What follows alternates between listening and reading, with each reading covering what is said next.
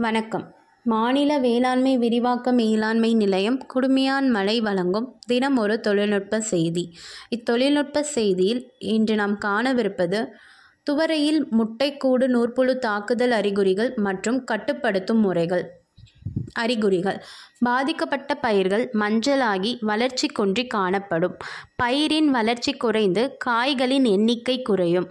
துவரை தட்டைப்பயிறு பச்சைப்பயிறு சோயாபீன்ஸ் உளுந்து மற்றும் எள் போன்ற பல பயிர்கள் இந்நூற்புழுவால் பாதிப்படைகின்றன. பயிரின் இளம் பருவத்தில் முத்து போன்ற அல்லது எலுமிச்சை வடிவ வெள்ளை பெண் நூற்புழுக்கள் வேருடன் ஒட்டிக்கொண்டு இருக்கும்.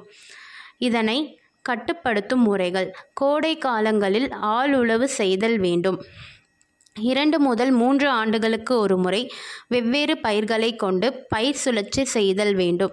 விதைக்கும் போது சூடமோனாஸ் புளூரசன்ஸ் அல்லது ட்ரைகோடர்மா விரிடி ஒரு ஹெக்டருக்கு இரண்டரை கிலோ என்ற அளவில் மண்ணில் இட வேண்டும்.